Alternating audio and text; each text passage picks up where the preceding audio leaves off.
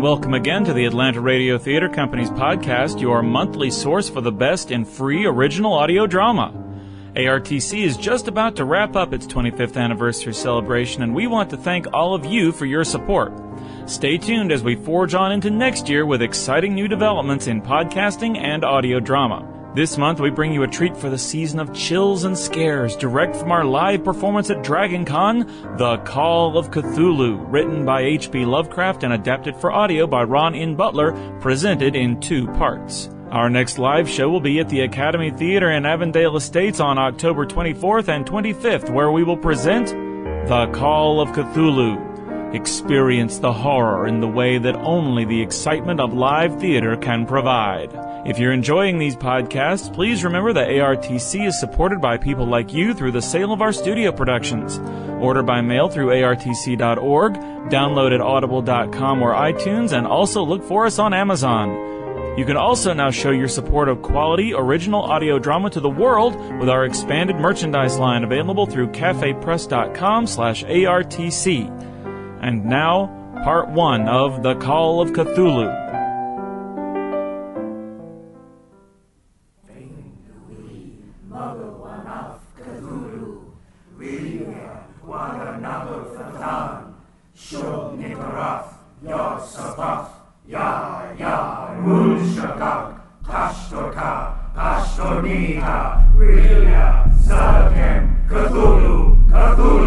It is a mercy that the human mind is unable to correlate all its contents.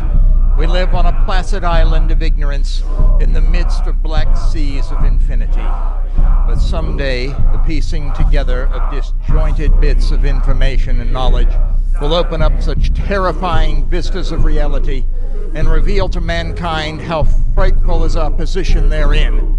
And we shall either go mad or flee into the blessed oblivion of a new dark age.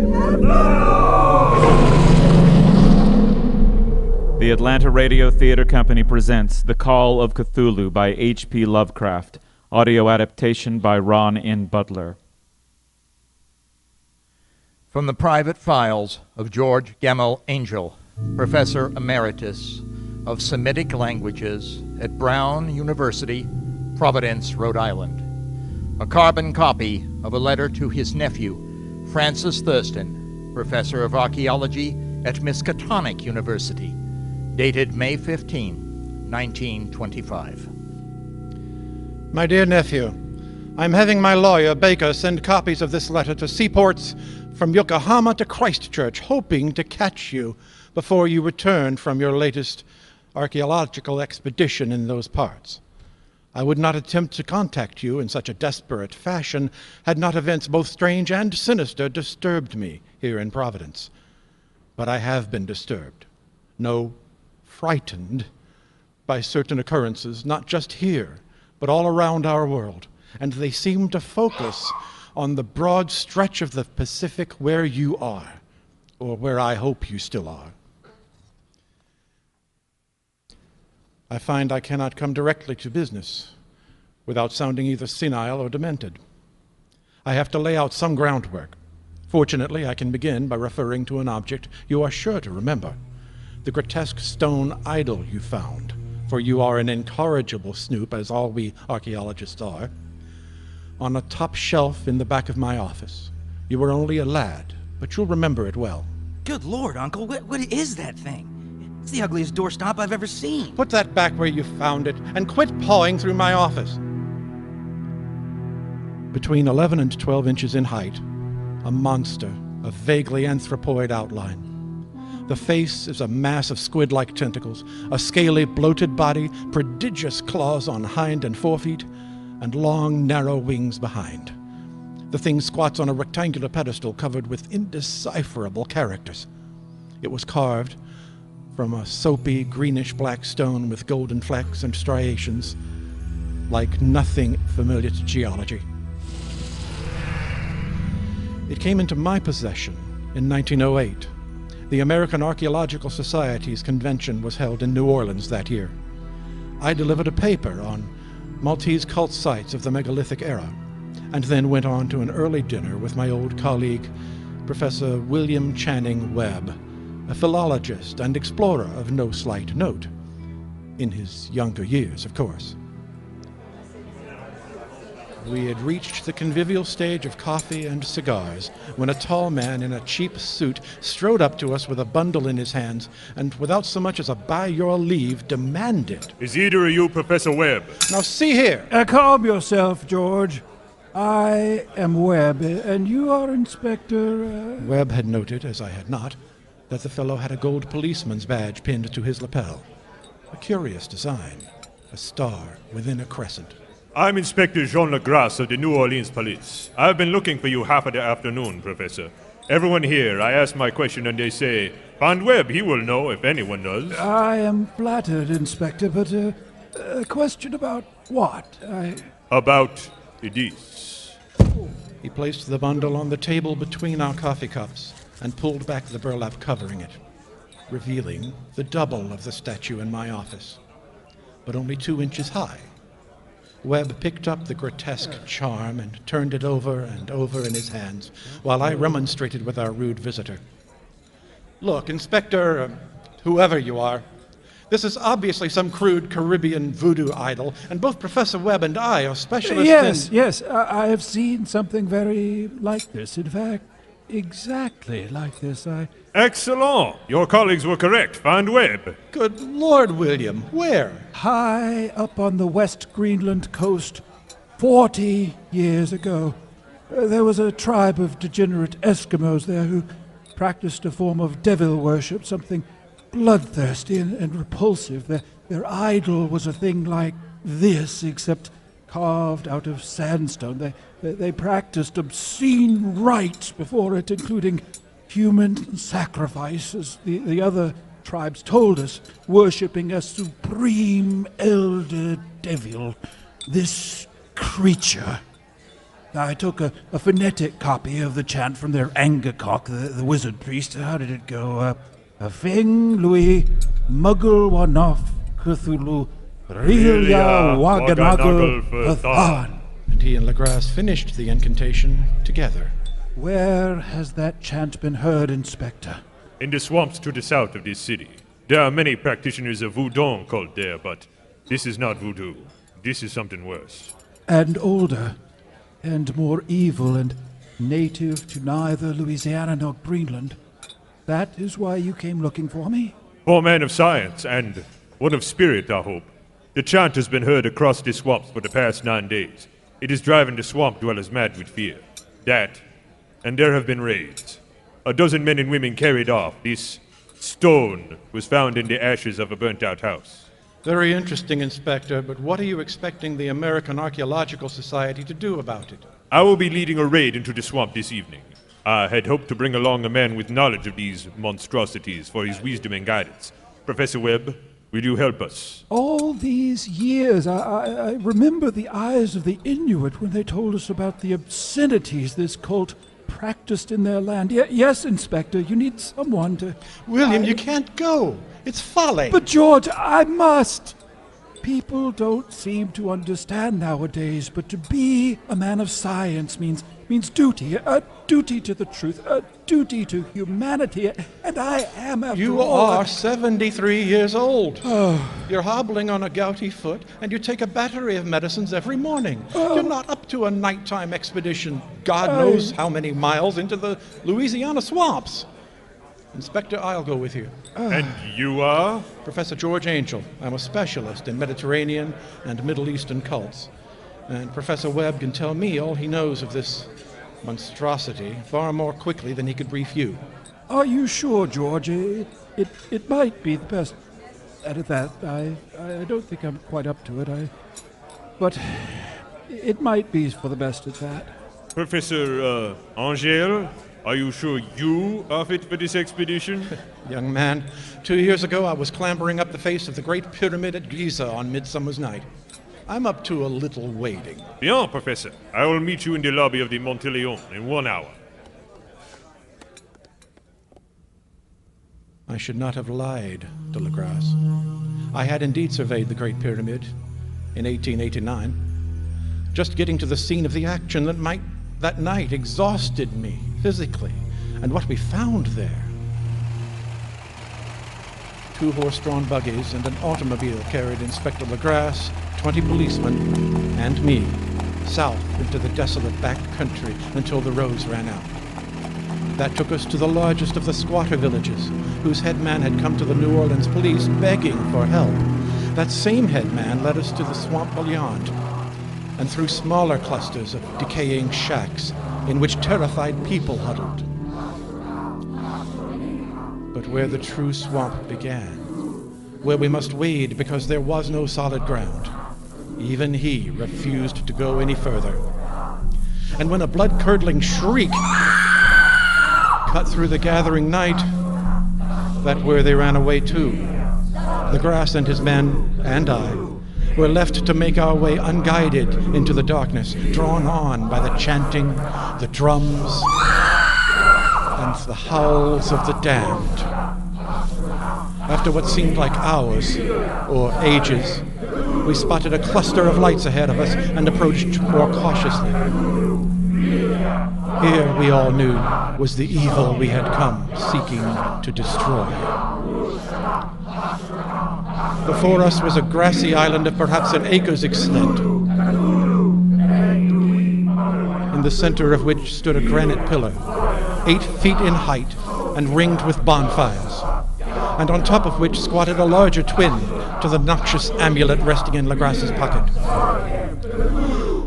A dozen white poles stood around the edges of the clearing, each hung with a long scarlet banner. In the face between the poles and the ring, a fire a horde of human abnormality, devoid of clothing, were braying, bellowing, and writhing, swaying from left to right in worship of the monstrosity at its center. Legrasse produced a small telescope. Regard the idol atop the pillar, Professor Angell. It is the same as the small one. I'm not surprised, Inspector Legrasse. Uh, could, could I borrow your spyglass? Of course. Letourneau, Baldwin, each of you take six men and circle around. You to the left and you to the right. And when you are in position, we will rush them. You may wish to make more haste, Inspector. If you'll look through your spyglass, sir, you'll see that those are not flags hanging from those poles. They are the flayed bodies of men and women. And I think some of them may still be alive. Webb, you will recall, did say they practiced human sacrifice. My God! You have two minutes, now move! Alas, for planning, the Legrasse's men did not get those two minutes. Some constable, more excitable or more squeamish than the others, fired his pistol. The scene disintegrated into chaos and combat.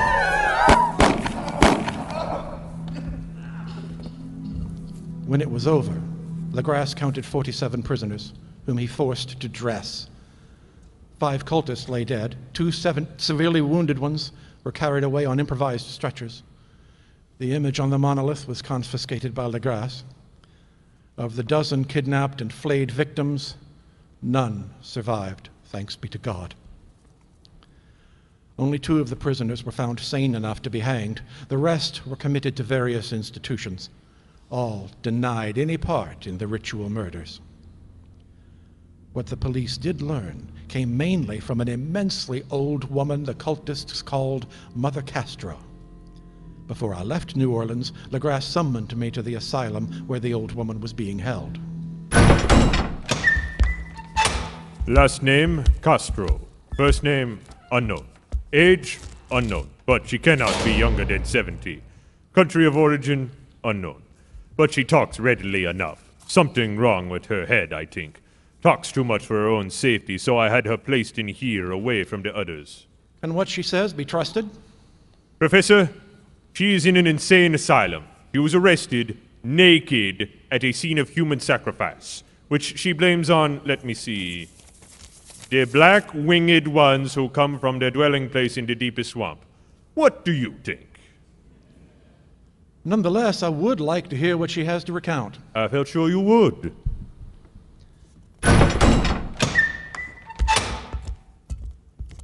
Long, long before there were men, the great old ones came to the young world out of the sky. They were not made of flesh and blood, or the stuff of our world. When the stars are right, they can plunge from world to world. But when the stars are wrong, they cannot live. But although they no longer live, they never truly die. They lie in stone houses in their great city of R'lyeh under the waters, preserved by the spells of mighty Cthulhu, to rise again when the stars and the earth once more are ready for them. And you, your people, they watch over the great old ones. The old ones told their secrets and dreams to the first men, and the first men formed the cult.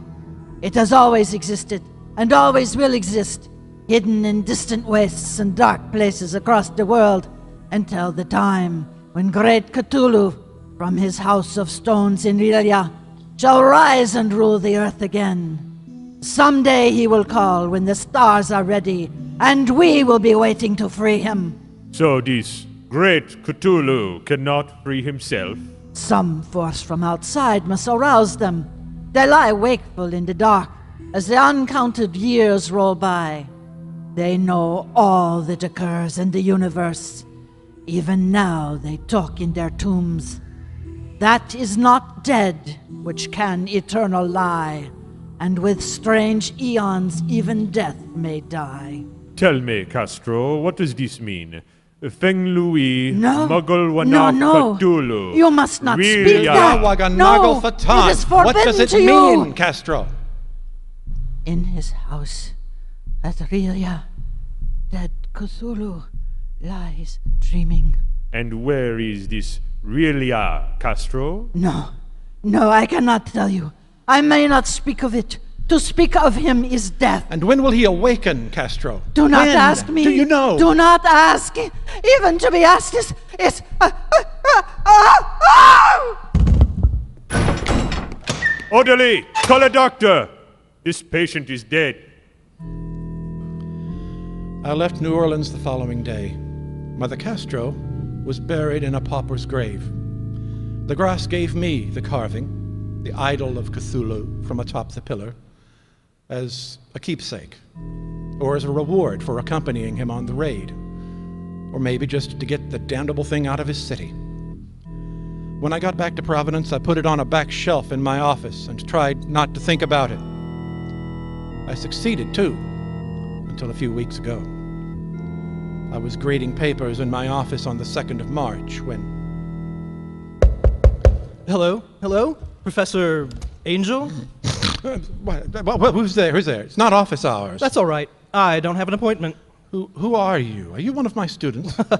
No. are you sure? I swear I've seen you in Survey of Egyptology. I'm not a student here. I go to the Rhode Island School of Design. Ah, then you want the arts department. That's over on. No, no, no, no. I'm looking for an archaeologist, possibly a philologist, a man wise in strange tongues and writings and dreams older than brooding Tyre, or the contemplative Sphinx, or garden girdled Babylon. I was on the point of throwing him out. He was certainly disreputable looking enough, self consciously artistic in his mannerisms, sloppy in his dress and long haired, standing in my doorway with a cardboard box clutched to his narrow chest. But something in the phrasing of his last sentence caught my attention. Very well, yes, I am Professor Angell, Semitic Languages Emeritus. What does that last word mean? It means I have an office and teach whatever I care to, whenever I care to, if I care to. And you are? Henry Wilcox, artiste of the decadent and the macabre. Pardon me if I don't shake hands, it's bourgeois. Ah, you also have your hands full and are standing a good 10 feet away from me. Oh, good grief. Come in and sit down. Thank you. Now, what can I do for you, Mr. Wilcox? Is it something to do with that box? Yes, it's to do with hieroglyphs. A broad field. Egyptian hieroglyphs? Mesopotamian cuneiform? Easter Island Rongo Rongo? no, no, no. None of those. Did you feel the earthquake last night? I can't say I did, but there's a trolley line running down my street. I did. It e- excited me. when I finally went to bed, I had dreams, unprecedented dreams, of cyclopean cities, of titan blocks, and sky flung monoliths, all dripping with green ooze and sinister with horror. And from deep below the ground, a voice, like a great bell, cried, Cthulhu, Fhtagn, Cthulhu, Fhtagn. I could not draw a breath. I had not thought of Inspector Legrasse or Mother Castro for years, but, but I heard the obscene chanting of the cultists and saw the flayed bodies of their victims as if they were before me, not this inconsequential young man. And, and that's it. You had these dreams, and then you went back to sleep. Oh no! I woke at dawn, sitting at my sculpting table in my nightshirt. I must have worked all night on it. Worked on what? This. He reached into the cardboard box and lifted out a clay sculpture, still slightly damp, and deposited it heavily upon the top of my desk.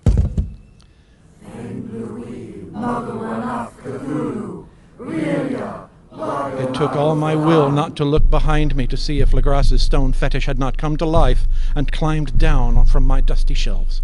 For this was Cthulhu. Ape's body, bat's wings, dragon's claws, tentacled visage, in clay instead of stone. And not squatting, but climbing out of a stone slab coffin, reaching for. for the stars? The moon? Dominion over the earth? I stared at the thing in perfect horror. See, the hieroglyphs I wanted to ask about are incised on the sides of the sepulchre. What? Oh, oh no, no, I'm I'm afraid they're like nothing I've ever seen. Oh. What a disappointment. Well, I needn't take up any more of your time. No, no, Mr. Uh, Wilcox. The figure you've sculpted here, is that a a frequent subject for you? Oh, goodness, no. It's striking, powerful, demonic even, but I had never imagined such a thing before. It was in my dream, too. Really? You're sure? I am an expert on the subterranean cults of the megalithic age in the Mediterranean. I know some of the symbolism has been picked up by, well, by popular culture, even by cults. Cults? How stimulating. And I know that cult activity has a certain attraction to the uh, artistic mind. And how, let me tell you, some of my friends are pretty weird.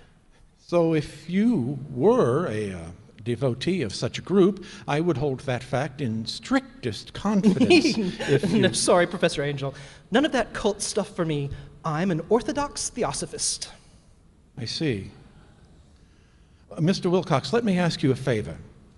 If you have any more of these striking dreams, would you come by my office or my, or my house the next morning and tell me about them? You can count on it. Well, I'd uh, better be going. Oh, uh, better take my sculpture with me. Please, please do, Mr. Wilcox. He was as good as his word, and voluminous in his imaginings, if they were imaginings and not visions, terrifying visions. He came to my office the next morning, and the next, and the next, and the. It was all I could do to keep up with him as his dreams poured from him. Professor, the most astounding images last night. Shall I begin? Uh, yes, of course. Let me let me get a pencil. It seemed to me in my dream that I skimmed across the glassy surface of a great sea under a livid sky of writhing, blood-streaked clouds. This Wilcox turned out to be the grandson of an old friend of mine, Colonel Alan Wilcox. This grandson was a precocious youth, but also a young man of great, uh, age, built in eccentricity. measureless eons behind history He had from childhood regaled family and strangers alike with strange from the dark stories and accounts of his dreams. He called himself psychically ancient beings, their hypersensitive. Hordes of hidden Acquaintances whom I interviewed called him, sending out thoughts well, a number of things, of those mostly vulgar. and called imperiously for mankind to arise, arise on a pilgrimage of liberation and restoration, of destruction and doom, of rending and eating. Wilcox had been a studying sculpture at the Rhode Island School of Design and living alone at the Fleur de Lis building near that institution. citadel His hours and habits were irregular, his It was the risen acquaintances disreputable and dubious. But there were no hints of the fraudulent. Or criminal Had been in my body, or I would have occult in his awe at the background. Whatever the source of his visions, whether he was originator or conduit, they seemed to me to be genuine the colossal statues and, terrifying. that showed the creature I sculpted from clay in the dawn after that first night of revelations. Nor was Wilcox the only inhabitant of Providence to be dreaming strange dreams that March. Oh, average triumphing as I people in society and business seemed no different. Was in my body. But the I- I must have university's been, for I landed on the aesthetes, sloping mud bank below the poets, artists, seemed drawn and slipping worn, sliding given to whispered conversations and downcast led to no eyes. And there were riots in both Federal Hill and Mount Hope, riots the police could not put down before dawn. Only to break out afresh the next, the next night. rock where a second glance showed I could see the smoke of burning buildings and the eye of warehouses from my office window on several mornings. The gaping mouth of the god tomb was black with a darkness that burst forth like smoke from its eon long imprisonment, darkening the, The sun. newspapers, national and foreign, rising from the headlined the usual events. A tornado that swept across three states in the Midwest, an sound from the earthquake in Yunnan, a naval base to be built on the island of Singapore. But there were also reports hinting at a psychic squeezed into the disturbance among the sensitive worldwide. a A nocturnal suicide in London, where a lone sleeper leapt from his fifth floor window with a ululating shriek. to claim his own. Insurrection in India involving adherents of all the subcontinent's religions, in their millions. Murders of the most grisly and sensitive sort. Vatan, Shub, Nikarath, Yag, Sadath, Ya, Ya. On the morning of the 23rd, Wilcox did not appear. At lunchtime, I sought out his lodgings, where one of his fellow artists told me. No, he's not here. He shouted and ranted all night until we wrapped him in wet blankets. His family collected him this morning in an ambulance. So, presuming on my acquaintance with his grandfather, I made my way to the family's home on Waterman Street. Oh, thank heavens you've come, Doctor. Uh, you're not Dr. Elby. No, madam, I'm Professor Angell. His associate, of course. Please come this way, Dr. Angell. That's why my, my husband isn't with you. He's following with Dr. Elby. I really couldn't say. Dr. Elby isn't coming? Well, you best examine my son yourself. Well, I followed her into the house, barely able to keep up with her in sight as she strode ahead. we've made him comfortable in the sitting room until his bedroom can be cleaned out and aired. Mrs. Wilcox, I'm afraid you're laboring under a slight misapprehension about me. You're not a doctor? Well, I, I have a doctorate. It's just that then I... I insist you examine my son, Doctor. Henry Wilcox lay before me on a chaise longue, swaddled like a papoose, with a hot water bottle squatting on his forehead like a green rubber toad. I'm no physician, but anyone who has bossed a field archaeology expedition can set a bone or recognize malaria. So in a minute, I was able to tell Wilcox's mother. He's not running a fever, so you need not sweat lodge him. His breathing and pulse are a little slow, but not unusual for a sleeping man, which appears to be what he is doing sleeping. Abigail, I brought Dr. Elby Then in. who is this? Why, it's, it's Professor Angell, isn't it? Father's adjutant in the old Second Volunteers, weren't you? Yes, Well, if you're not a doctor, um, Dr. Elby, will you please examine Henry now that this charlatan has manhandled him? How is your father, by the way? He's dead these five years. Sorry to hear that. Well, this young man is not running a fever, uh, so I would advise you to take some of these blankets off him. His breathing and pulse are a little slow, but not unusual for a sleeping man. What seems to be the problem with him? My son has always been sensitive and high strung, neurasthenic. Last night, or so we were told by the ruffians at the house where he has rooms, he became very agitated and had to be agitated. and He had to be restrained. Mr. Wilcox and I brought him home this morning. He was, as you see him now, sleeping, but we cannot wake him. Ah, Uh-huh. In that case, I advise you to let him sleep. I'll call him again this afternoon to check on him. Uh, in the meantime, I have appointments at my office. Then let me see you out, Doctor. Professor, you, you know Henry? He, he, he came to my office at the university a few weeks back to ask about some hieroglyphics he had seen on a piece of sculpture. Wasn't able to help him much, I'm afraid. I see. He's uh, an unusual young man. Uh, he takes after his mother. I see.